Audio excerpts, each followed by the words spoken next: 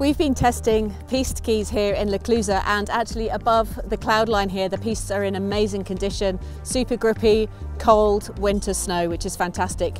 And when we're testing the piste skis what we're looking for is grip early in the turn for a short turn, bring you all the way around making it feel nice and smooth and also a steady stiffer ski for the slightly longer turns and carving turns so that you feel supported and you have lots of fun on the piste.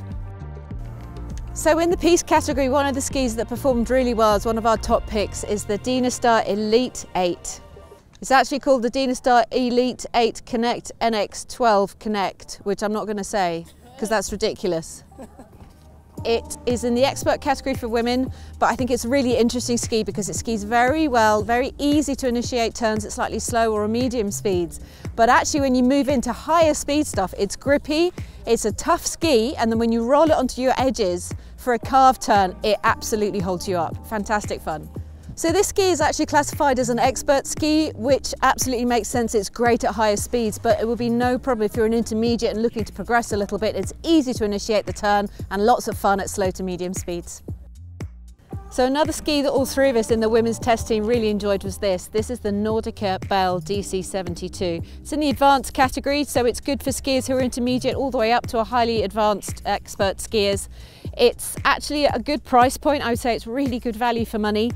The ski has a slightly detuned tip which makes the initiation of the turn really easy but the whole length of the ski is very smooth, the flex pattern is lovely so it's very smooth edge to edge and very easy to ski all the way down the slopes.